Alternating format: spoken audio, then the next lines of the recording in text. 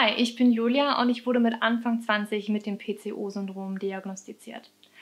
Damit bin ich nicht alleine, denn es ist eine Hormonstörung, die unglaublich viele Frauen heutzutage betrifft. Die Lösung der Schulmedizin, das ist die Antibabypille oder Metformin.